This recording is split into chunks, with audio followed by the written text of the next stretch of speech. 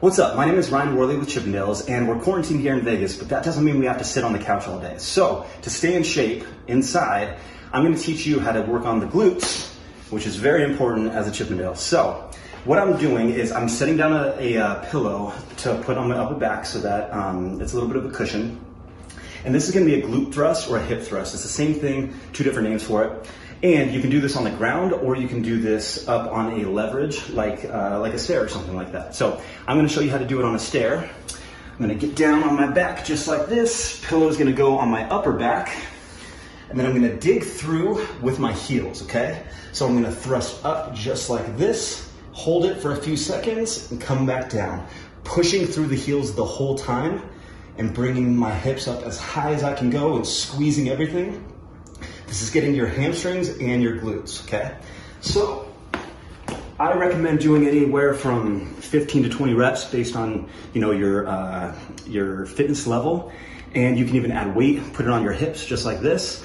Um, or you can do isometric holds. Those are always great as well. So I'm gonna show you a way to work out your chest at home. So there's a couple different variations of push-ups that I'm gonna show you. And it's something to keep in mind is when your elbow is at a 90 degree angle right here, you're hitting a lot of shoulders and not your chest. And then same with if your elbows are close to your side, you're actually hitting a lot of triceps and not your chest.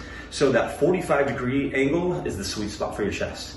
And I'm gonna show you a couple different variations. So the first one, we're just gonna do a normal push-up down, and up, try to keep everything as flat as possible.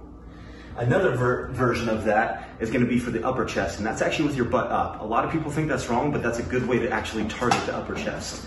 So, butt up in the air, and push down, touch the nose, and come back up. Touch the nose, and come back up. And the last one that I'm gonna show you is a pop push-up. So, that one, we're gonna come down just a little bit and then pop both the, the hands and the feet off the ground at the same time, okay? Watch out, Amy. All right, so we're gonna come down just a little bit and pop, pop, pop. Just like that. So that's a good way to work out your chest at home.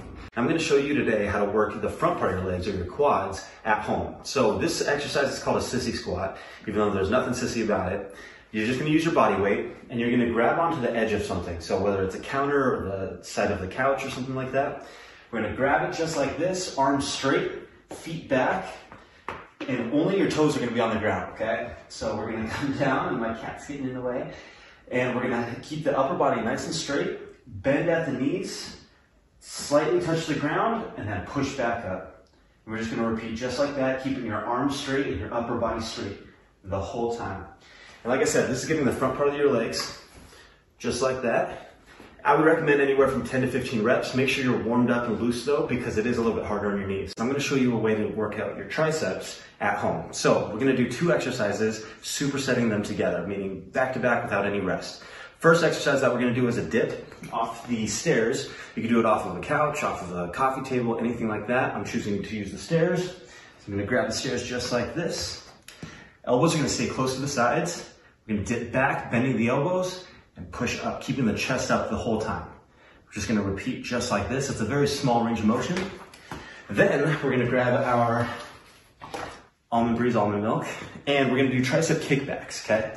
So this one, elbows are gonna be super far back, as far back as you can, parallel with the ceiling, and kick it back just like this, nice and controlled.